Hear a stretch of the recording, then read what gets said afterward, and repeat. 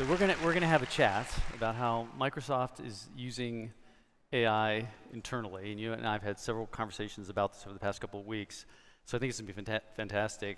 And I'm gonna start with an easy one here. So tell people what your responsibilities are at Microsoft. It Sort of depends on the day. Okay. Um, so in customer success, uh, we're really focused on making sure that our customers get value from the products that they've uh, trusted uh, uh Microsoft to provide for them. Uh, and so we spend a lot of time working through technical architecture, optimizing deployment in the cloud, and optimizing security, optimizing spend uh, with our with our customers. Perfect. So we had a bunch of questions we talked about. I decided to just throw those out and make up new ones here, so I hope you don't mind. Um, so we're going to start here. The, so you and I talked about the fact that um, you know, being the fact that Microsoft is an AI provider, that you consider the customer success organization organization there customer zero for Copilot. What what does that mean? Like define well, I, fundamentally, if we expected that our customers were going to believe us when we talked about how much um, productivity they could gain from using AI or how they could transform a business process, uh, we felt like we kind of needed to prove it. Mm-hmm. Uh, and so being customer zero meant deploying uh, our own technology within our own shop first so that we could prove uh, that the things that we were convinced were true uh, were actually being proved out mm-hmm. Uh, in production. What, give me, a, I'm just intellectually curious, give me a sense of, because I imagine there's new capabilities that are being beta tested before you, they put them out in the wild. So they, basically, are you the guinea pig for, for some of that stuff, or how does that work in terms of releases? Um, so in, internally, when um, you know when we talk about like the, the release to our people, uh, is, is, yeah, yeah, you know we we um, we have a, a, like a pilot group of folks that tend to be on the cutting edge of so they're trying anything to do that we latest do. And greatest. There's an opportunity for them to you know kind of get their hands dirty and give us feedback about the things that uh, really aren't yet production ready or aren't yet you know, hardened enough for them to deploy at scale. Yeah. Uh, and then from there, we, we kind of deploy to, to the masses. At Microsoft, we have about 40,000 uh, engineers and agents who provide customer support. So, oh, yeah. so that's a great non, test bed. Non-trivial group yeah. of folks. Yeah, great test bed. Okay. The, um, so let's, I want to talk about the rev gen side of it, like we were talking about this morning in AI. But let's start on the server side. What, what are some of the best use cases on the server side for AI? So the I, I, think the, the mistake that we see a lot of customers make is that they try to solve world hunger uh, out of the you know out of the gate as opposed to picking off the low-hanging fruit. Mm-hmm. Uh, if I look at the things that we use Copilot for broadly across our support organization, uh, it is not the life-altering, game-changing kind of stuff. Um, summarizing case notes. You know, you work with a customer over the course of multiple hours or multiple days. You have multiple revisions of, hey, let's try this, let's try that as you're troubleshooting something.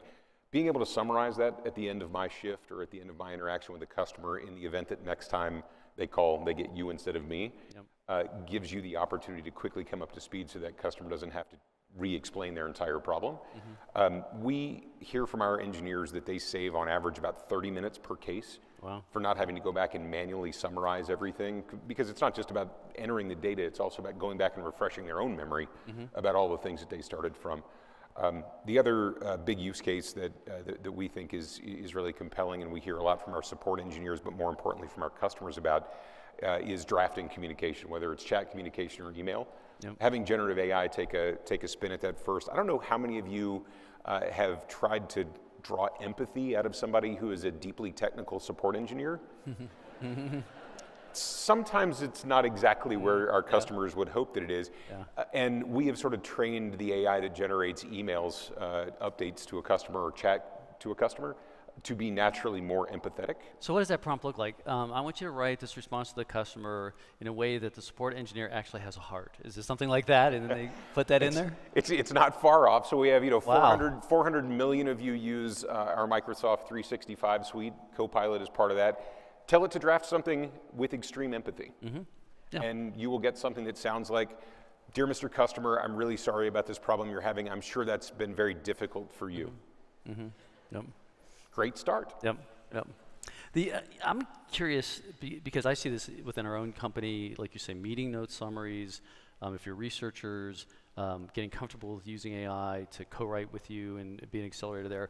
In terms of, of a adoption in the fact that you are a tool provider there.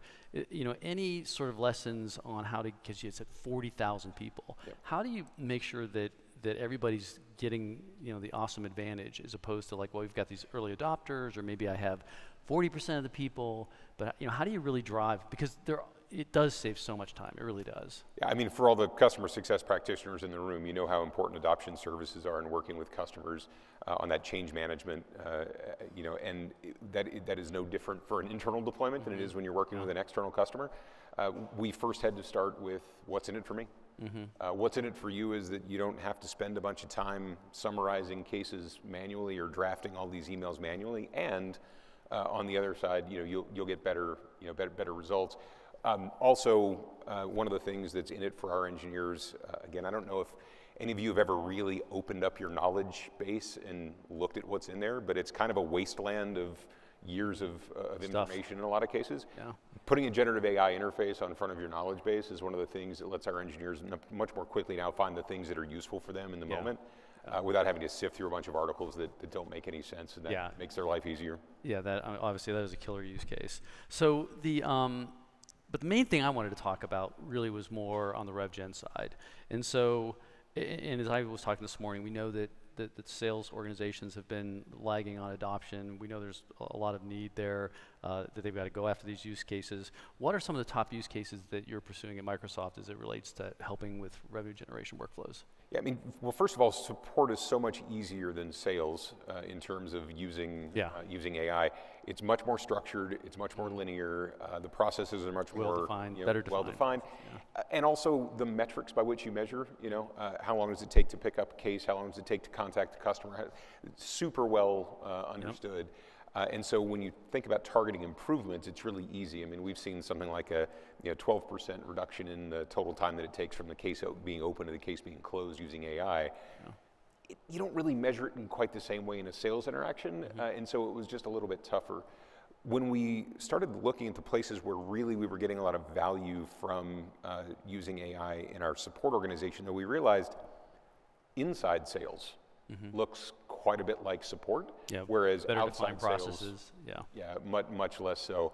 Uh, and so really, we're targeting the sort of those inside sellers as the first point of okay. entry for AI because they are much more structured in the way that they work. The things they do yep. are a bit more linear and a bit uh, more metrics driven yep. in terms of how they measure the success. It's not just about did I close a big deal. It's also about how many phone calls did I make, yep. how many leads did I generate. Yeah, yeah. I think uh, so. I have a working theory, and I'd be curious, it, you know, your perspective on it. And that is because what you put on the table there is that one of the reasons that services, uh, you know, especially support, has leaned into AI more effectively is, like you said, the processes are very well defined. The, you know, the, the efficiency metrics are very well understood. And so you can take an AI capability and apply it there and go, wow, benefit. In sales, it's, it's just loosey and goosey, and it's not very data driven, and you know everything's an art project. You know, it, it is what it is.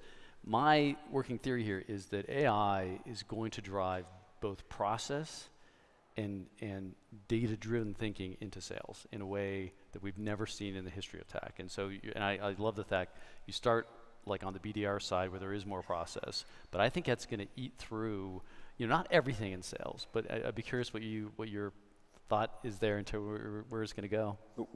As someone who's, you know, spends most of my life thinking about customer success, one of the, uh, you know, one of the things that I find really interesting is that as it becomes more data driven, as it becomes um, you know more driven by uh, you know what like what is really the next thing that I should position to this customer in a more formulaic way, but also something that's fast enough and dynamic enough to help me in real time while I'm in that conversation flow. Mm-hmm. Um, selling is going to, in, in a lot of cases, look a lot like customer success yeah. looks today in terms of, well, what is the next best action that you should take? What is the next thing that I recommend? Yeah. Um, in a way that feels, I think, to a customer much more helpful yep. than like selling. Yeah.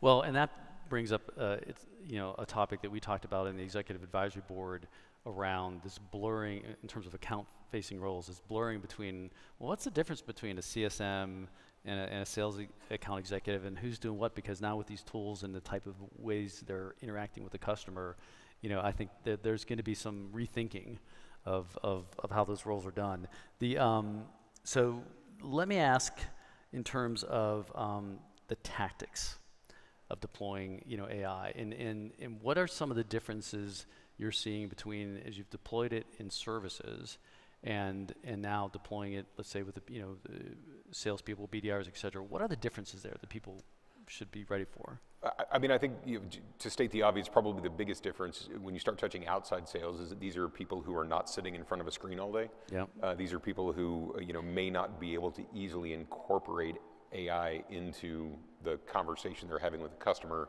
You know, over coffee, it's, it's going to be a little bit tougher than when you naturally sit behind a screen and AI Yeah. is kind of your, your co-pilot sitting Yeah. right next to you. Uh, so I think you have to be ready for you know what are the what are the places in which the entire flow of someone's work doesn't have to change in order for AI to be a powerful Mm-hmm. co-pilot or assistant, uh, versus where are the places where you really are looking fundamentally at a change in the way that someone works. Yeah. That's a much heavier lift. Yeah, yeah. The um, well, I mean, you bring up a good point. I mean, in terms of those two audiences, one audience is spending a majority of their time, and if they're interacting with a customer, they're doing it, and there's a screen in front of them. Salesperson, a lot of opportunities when they're talking to the customer, and that's not not the case. But it's interesting. One of the things we talked about in the CRO Council Advisory Board meeting about this issue of adoption was the people that were having more success said, look, and it's what you're on with workflow. For the salespeople, if we want them to use AI, for example, to do a proposal creation or do RFP response, that's got to be a button that is like right there in the workflow already, in their CRM, whatever. And it cannot be, oh, go over here and use this new thing over here, because you know, people's experiences, they're just not gonna do it. Is you know what your ex- experience with it? I mean, at, at the risk of turning it into a Microsoft product discussion, we, we use Dynamics for our case management system, not, uh, not unexpectedly. And Copilot is integrated into Dynamics in a way that as I'm looking at the screen of information, Yep. uh, there's a, a, a sidelight that's bringing me AI insights about the customer, about the case, you know, suggested actions, communication prompts, those sorts of things. So it is very much in the workflow. Yeah. Um, and w- you know, we, it, it's been really clear with our support folks that if it's not in their workflow, it's going to be much harder to drive their adoption. They're going to be much less likely because it's Yeah. just not going to be in their face, Yeah. reminding them that it's you know it's there and it's convenient. Yep. Yeah. So you know, this morning I I talked about these AI use cases in RevGen that are mature. They're below you know, below the waterline. You can go do them right now, um, and and there's a lot that you can go chip on already. But I'm curious. Let's think futures here.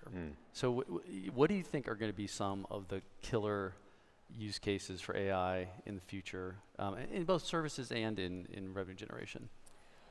Look, I mean, I, I think right now i- i- it is somewhat temporal. Like what's what's going on in the environment around you in terms of what's a killer use case. Right now, I think most of us are feeling cost pressure. Yeah. Um, and so when I think about the ability to continue to drive substantial growth without driving substantial growth in the expense line, uh, right now the, you know, the most killer use case for our CFO is how can you drive the same growth rate that you drove last year or better at you know Yeah. half the cost growth that you had last year. Yeah. Uh, and so the use cases that, that we're really focusing on are those that you know help accelerate that top line growth and the ones that really help with, with containment of cost growth uh, along those lines.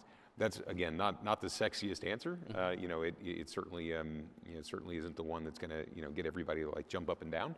But I think it's the reality of where we are at the you know at the moment, and I think is you know as, as that changes as the economy tends to tends to do.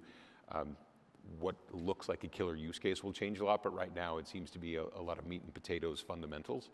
Um, but when I you know when I think about the future uh, with you know with our customers, we spend a lot of time, as I, as I know many of the customer success practitioners do here, uh, just working through how do you measure business value, and then how do we make sure that when you deploy our product, you achieve the value that you expected from that deployment.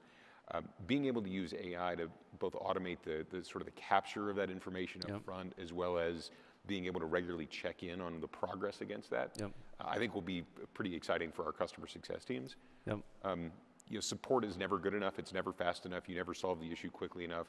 Uh, so as I think about the, the support domain, um, there's a bunch of opportunity there. But one of the other ones that um, I was at a conference this weekend with, with one of the, uh, the largest uh, education providers uh, in the world, and they were talking about sort of how they're fundamentally changing the way that uh, students interact and engage with material using Gen AI. Um, and it started with the sort of early days of ChatGPT. Please, you know, please tell me the answer to this question that I'm trying to, to find the answer to, so that I can write my book report or you know whatever. Um, what they've done, you know, is, is a bunch of research on just spoon feeding the answer to someone with generative AI in the context of solving a support case or closing a deal in sales makes a lot of sense. But when you're a student, I'm not trying to teach you the answer. I'm trying to teach you the critical thinking Yeah, skills right. to get to answers. Yeah. And so just spoon feeding you the answer is actually counter to the objective. So when you think about education, I want to teach you how to think through a problem. I want to. I don't want to teach you the answer to the problem. Um, so the way that they're using Gen AI is, has been tuned to not give you the answer, but to help prompt you along the, the critical thought path. Yeah, yeah, And. I think for education services, that's a really interesting Use case. use case. Yeah, for sure. So you put it, several things on the table there. I want to go all the way back to the, this meat and potatoes stuff. So, and JB was chipping on this a little bit this morning. This decoupling um, of the fact that our revenues are going up, and historically there was always this correlation between, oh, we have more revenue, then guess what? We obviously have to have more employees, whether it's salespeople selling to hit that number, service people to deal with those, you know, more customers. And now there is this decoupling where the expectation is I want to see revenue go up, but I want to see headcount flat or maybe a little bit down. And I, I tested that in, in both the executive advisory board meeting, we talked about it, and the CRO council, and just heads were shaking up and down, going, that is the new math. That is the new math, which leads to what you're saying, these meat and potato use cases that may don't have to be super sexy, but if they if they represent significant labor savings, like meeting notes and this and that and the other thing, and you can take 30 minutes here out of somebody's life and an hour here, and it allows you then to scale. Um, I think that is probably the foreseeable future, right? That people want to want to focus on that. Yep. And if you, uh, you know, if you look at the things that we all try to solve every day, you know, we, we all know that happy employees do a better job t- making happy customers. Yeah. So how do I improve my improve my employee experience? How do I make you more productive? How do I remove some of the junk work that you don't like to do from your life? Yeah. Um, has a has a measurable effect on job satisfaction. Yeah. Um, so I may not need as many employees in the future, meaning I may not need to grow my headcount as much to support the revenue growth. Um, but if I can make those employees that I have twice as happy Yeah. with the work that they do every day by removing a lot of the menial tasks, Yeah. they're going to do a better job taking care of our customers. Yeah, it, it, it, I had mentioned this morning this episode I had done with, with Brent Grimes from um, from Reef, and one of the things that that I think it was in that podcast, and it might have been in in a, in a conversation before, but you know he was saying, look, we are just making our employees do too much data entry grunt work, just too much, and we've got to be using the technology to take. And I think employees, whether they're support people or salespeople or whoever, would be so much happier if they were like, cut the amount of data entry I have to do keeping this crap up to date by you know half or, or two thirds. I think it's going to be a much better employee. And one of the one of the things that we're we're seeing now is sort of this transition from uh, Copilot being a personal assistant to Copilot being sort of a team assistant. So if you think about uh, Copilot sitting in on your team meetings week over week over week, they know what the agenda is, they know what the action items were. Being able to generate next week's agenda to follow up on the action items from the last meeting, those sort of administrative Yeah, yeah. things that you have to do, Yeah. typically falls to a you know a, a- an executive assistant or a business manager for a group kind of thing. Yeah. Um, if you can take those tasks and have AI do those for you, Yeah. um, you can you, know, you can take away a lot of the sort of administrative minutia that people have to do, Yep. and then redeploy that time to more interesting work. Yeah, no, I don't think there's any doubt about it. The um, uh, back to this sales thing, though, I, I'd be curious your thoughts on this. The other thing I we, were, we were testing in the CRO council dis- discussion was this decoupling, right, of revenue and headcount.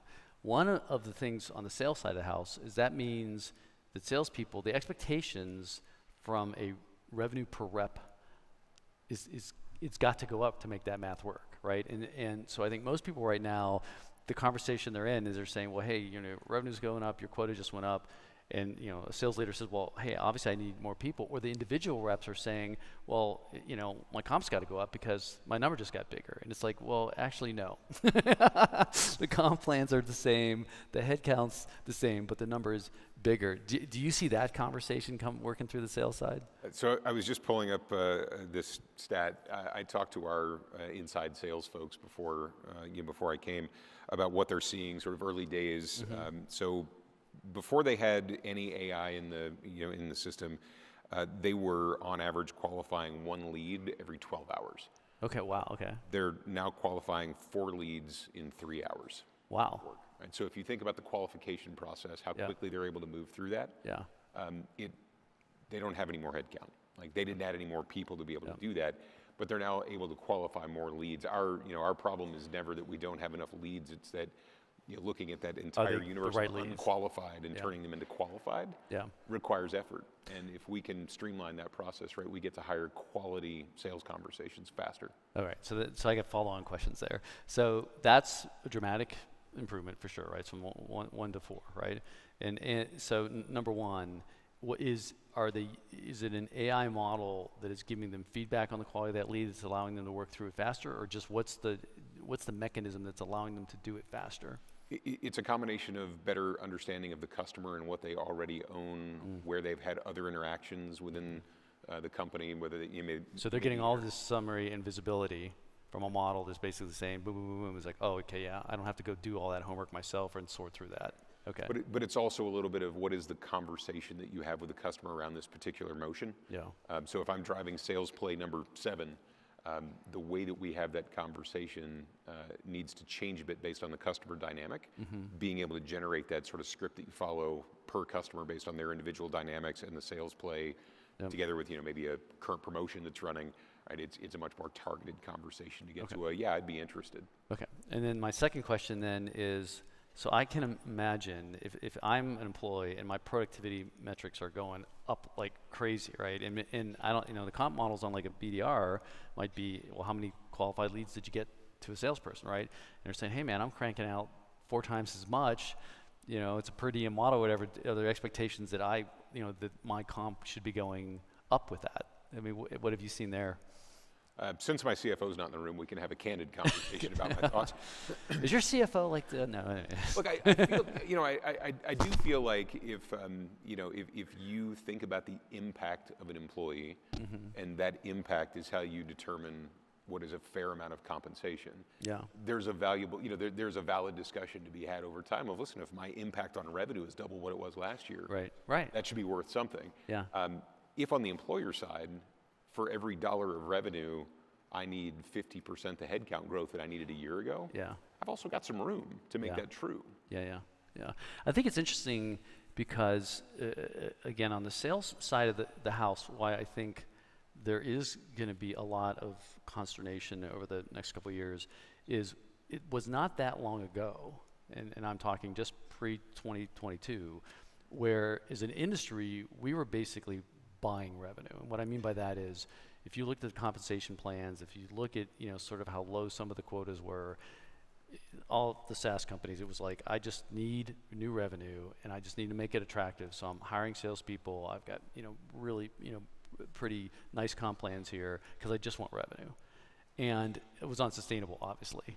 And now that pendulum's come across the other side, and I think sales, anybody who has a quota, anybody who's compensated that way, it's, it's a double whammy because these kind of low, you know, easy, low hanging fruit comp plans are gone and the expectations are actually getting ratcheted up. So I think this is going to be you know a couple of years of you know tough love on the, on the sales side. I don't know. I, you're curious what you're you're looking across the industry. I, I, I think to some extent that's true. I think the other thing that we're going to quickly figure out is um, that folks who are leaders in adoption of AI in their workflow and folks that are laggards, you're going to start seeing the difference in performance and impact Sure. that they're having. Yeah, for uh, sure. which is going to drive us towards uh, you know a world where those who are able to drive the, the higher impact are ultimately going to benefit the higher rewards. yeah.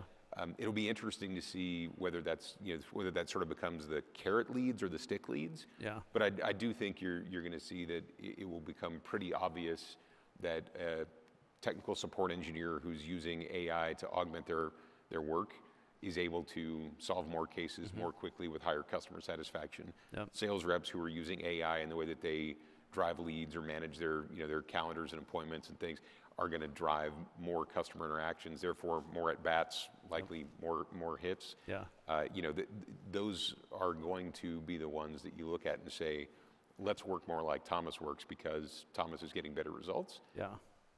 I think I, I think I think that's going to be true, and I do think that em- employees on you know both the sales and service side, they're going to start figuring that out. They're going to see the, the difference between you know the, the folks that are leaning into the tools. They're getting you know better impact, um, and I think the carrot side of that again on the sales side is if I'm using these tools and I am able to take hit my quota more easily and blah blah blah.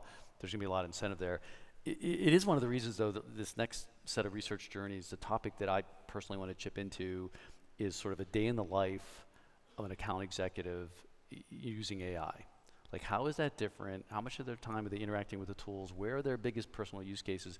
Because I think sort of creating a profile there that people can start to look at and say, that is the next generation of what a sales executive is doing, you know, that drives this type of success, would be helpful because I think there's still a lot of mystery, you know, in terms of, of, of what, what's working, what's not.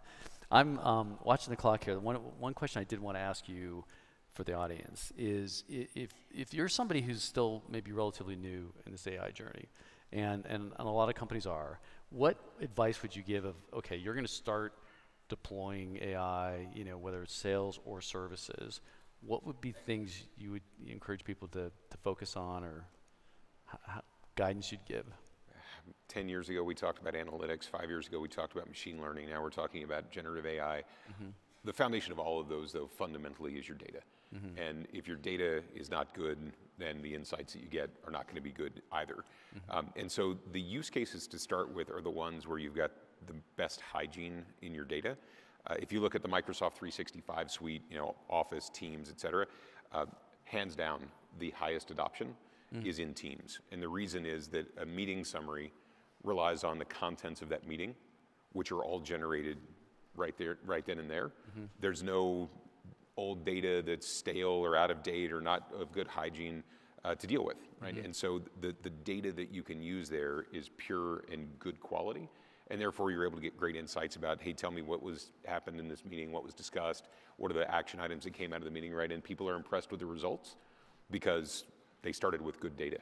Uh, find those places where your data hygiene is really good or the AI use case is working off of data that's generated sort of in real time. Again, a support interaction is a great example of a place where I'm It's working with data. you on a very specific issue right now in a moment in time, and all of the data is self-contained in that support case. I don't need 10 years of your company history uh, in order to be able to solve that support case. So, so start with those things where you've got really pure, clean data. And the other uh, piece of advice I would have, you, you mentioned um, you're interested to see what happens with sellers who use AI. So our sales force, um, recently we did a survey with them and they said that about 70% of their time is spent doing things that they view as largely administrative. Wow. 70, did you say 70%? 70. You think about RFP responses. Yeah, uh, yeah, yeah, Highly, yeah. you think about, uh, you know, so anyway, th- those sorts of things. If you could attack 25% of that, yeah, I mean, you think about if I can recover 25% of 70%, that's a lot of seller, Yeah. seller time Yeah. that I can recover. So start with those places where you've got a really well-defined and quantifiable opportunity. Mm-hmm. Because if you just start with like, well, we'll deploy AI to a bunch of people and I'm sure it'll work out, uh, you're not likely to love the, you Mm-hmm. Know, love the results. So like you've got to start with something where you've got a really clear opportunity to go attack and a pretty clear path with the right data to go to go attack it. Perfect. Well, that is our time together. I appreciate uh, you know getting the chance to pick your, your brain on this and um, spending time with us. And we've got some more t- more killer speakers coming behind us. So give you those things.